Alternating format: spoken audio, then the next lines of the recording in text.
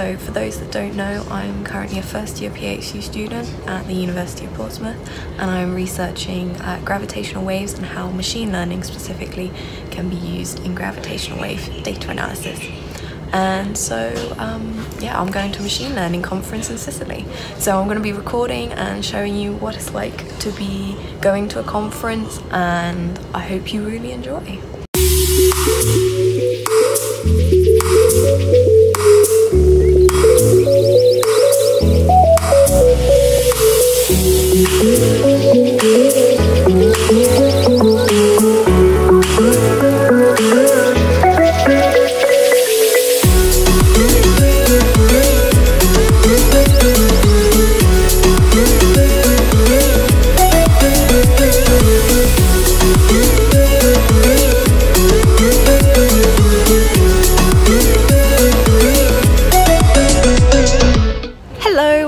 Welcome back. I'm currently in Villa Bellini. I'm currently on a tour around Catania. It is stunning. It's also really hot, so apologies if I keep um, putting my glasses back because it, I'm just, it's so hot. Anyway, it's lovely. Um, I haven't been vlogging because I've been on two tours. I went up on a boat, sailing boat tour, which was really lovely and um, I also went on a Mount Etna tour yesterday.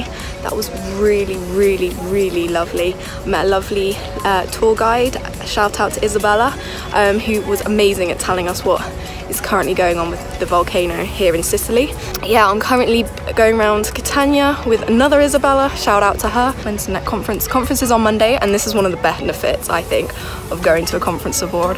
I have been allowed to go on holiday before and then the conference starts on Monday. So um, this is one of the luxuries of academia is you can take holidays either side of your conferences and just see amazing places. I've got less than one day until the conference that starts tomorrow so I'm super looking forward to it but also very nervous but it should be really good. Yeah I realise that some of you may not even know what machine learning is and neither did I until like six months ago, so don't panic. Basically, machine learning is getting the computer to learn the pattern and the relationships and the underlying functions in data, which sounds highly complicated, but let's try a food analogy. And as you all know, I love food. Half of my random questions to very our guests have been food related. And yeah, anyone who knows me knows I flip and love some good food, which is why I'm really enjoying myself in Sicily because they've got amazing food. Anyway, so basically in traditional programming, you give the computer the recipe. So you say, do this, do that, do this, and then you get an output. However, in machine learning, you give the computer the ingredients. So you say, here are the ingredients, I know some chicken, um, vegetables, and you come up with a recipe that fits some aims. So, aims that it tastes good, that it um, is healthy, and so the computer will try and cook all these ingredients multiple times to come up with the best recipe that tastes good and that is healthy. And hopefully, that gives you a brief flavour, going with the food analogy, um, of what it is. Um, but there are just different types of machine learning. So you've got like unsupervised, supervised in their names, basically. Supervised is where you watch the machine learning and make sure it's learning correctly. Whereas unsupervised, you just basically say, here's some data, you learn it yourself and learn the patterns and see what it comes out with. This is me going to the conference. Very nervous, actually, very nervous. Um, I even woke up an hour and a half early and I still didn't make it on time for some reason. Oh well. Um, thankfully I'm not going to be my, by myself. I've got Jamie, so shout out to Jamie. There's Jamie. Say hello, Jamie.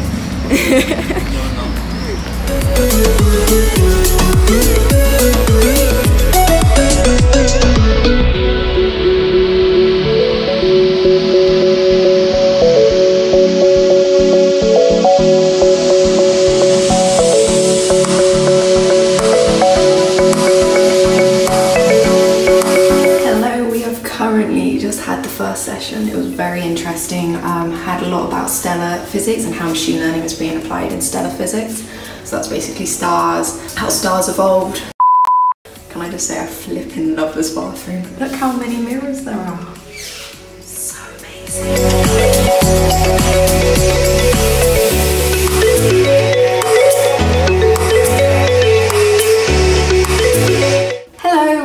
The um, second session, which has been really insightful and really good.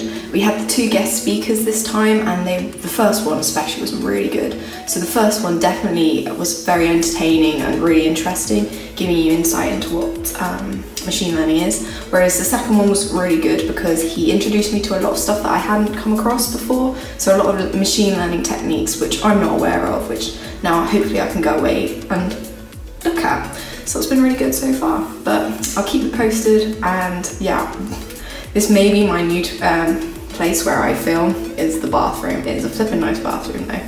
Um, so it'll be bathroom chat.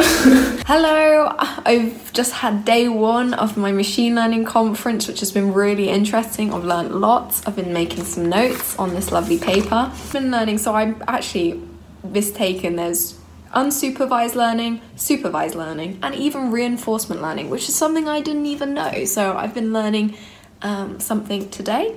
I've also been learning about, you know, how in machine learning we've got to be so careful because we put in data and our data can be biased and therefore our model is also biased. And also I've just been learning about different types of machine learning techniques such as um, recurrent neural networks, convolutional neural networks, generative adversarial neural network and transformers. If I said that all right, I really would be happy, but I really don't think I have. What is that? I can't even read my own handwriting. Okay, I've made really bad notes then. Oh well. But yeah, it's been really good. Hello, I've just left my accommodation. We're starting day two, um, which is really exciting. And what am I most looking forward to? Oh, someone's left the door open for me. That's amazing. Um, I'm most looking forward to, I think, the more variety of talks and also meeting people. God, this door is so heavy. So yeah, meeting new people, um, getting a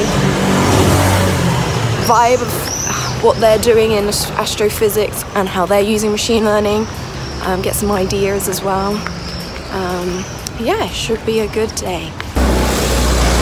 Any advice going to Sicily and any of these islands, every time you cross the road, you take the life in your own hands.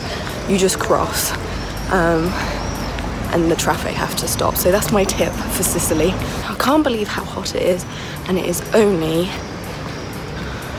8.50. Sorry, I had to work out the time there.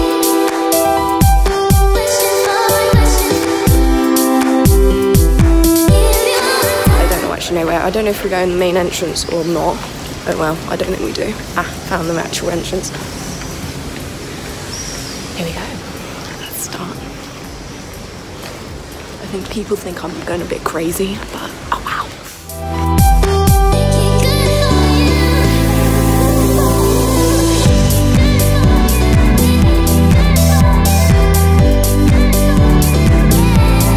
Well, we've just had the end of the first session and it was really interesting. We were looking at anomaly detection, getting machines to detect um, anomalies in our data with the hope of finding new science, which I thought was so cool. So you know Jocelyn Bell um, discovered pulsars in like 1900s and she just, and the reason she discovered it is because she discovered an anonymous, I can't even say, I knew this was going to be a challenge. Anyways, a difference in her data that was going, uh, was weird.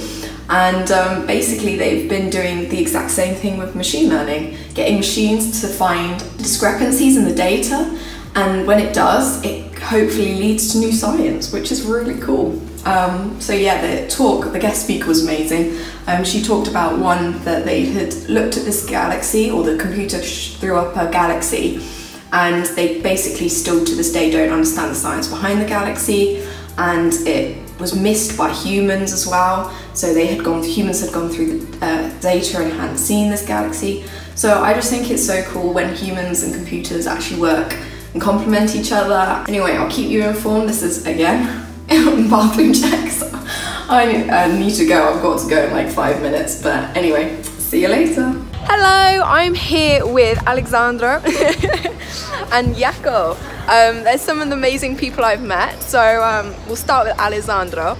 Um, can you tell us a bit about what you're researching, please? Uh, well, hi everyone. Uh, well, I um, study at the University of Milan. I study protoplanetary disks and uh, planet formation. So, mm, amazing. And could you tell me what a plo- was it a Pluto? Protoplanetary disk. That's it. What is that? Yeah, uh, it's a structure that forms during uh, uh, the star formation process, and uh, so during when the star forms and accretes mass from the surrounding uh, mainly because of uh, angular momentum conservation, it forms this uh, disk. And inside it, planet formation happens. And so when the planet form, it interacts with the disk and forms some sub substructures. And uh, from the morphologies of uh, these uh, substructures, I am trying to understand and infer properties of the planets using machine learning techniques. That is amazing. Jaco, hello. Where are you from and can you tell me a bit about your research, please? I work um, at Trinity College Dublin um, and I work on uh, supernova type 1a, which are exploding white dwarfs, which are mainly used to measure uh, distances to other galaxies, since supernovae are about the brightest uh, events in the universe. And I'm looking for a very specific, very rare type of interaction in these uh, one type 1a supernovae. And I'm thinking of applying machine learning uh, techniques to more easily go to large data sets um, to find these very rare events. Yeah. Sounds amazing. Well, there you go. Here are some of the amazing people I've met, and I'll see you all later. Hello, we've just finished day two of the machine learning conference, and what have I learnt today? I have learnt about how machine learning can be used to discover new physics, which is really exciting. Um, and also, it was really interesting hearing the variety of talks. There's been a lot of galaxy talks, but there was also some exoplanets, um, some sun and stellar flares. I didn't realize, I heard of solar flares, but I didn't realize or didn't make the connection that actually other stars in our universe can also have flares. So that was really interesting. Um, yeah, I'm very tired now, and but we've got a uh, dinner uh, this evening, and I, actually in half an hour, and I need to go. So I'll see you later, and yeah, enjoy.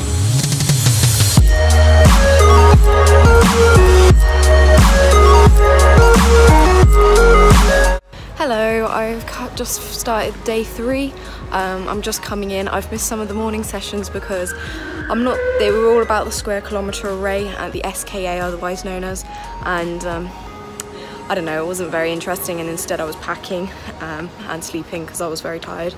Um, the dinner was really nice. That was finished though quite late, so um, yeah, that was really nice to meet people and again hear about um, different research careers. Um, yeah, note to self, planetary nebulae or nebula whatever is not to do with planet formation. I really put my foot in it that time. Anyway, um, enjoy the laughs. Um, yeah, so I'll see you later.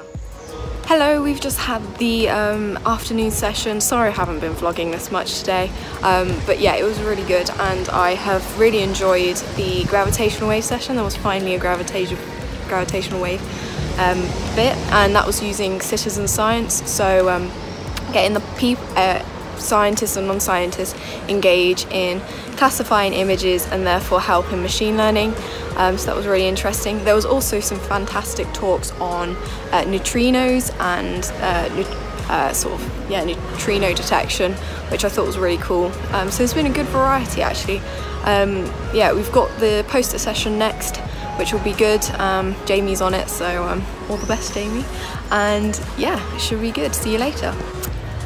Well, I've just finished the final day of the conference and it has been really good. Um, really enjoyed it. Very good meeting lots of people, so that's been very fun. I just think the variety of talks has been really good. Um, hearing all the gamma ray detection, galaxies, stellar flares, solar. It's just been so good hearing all these and yeah my highlight I think is just the variety that there's been here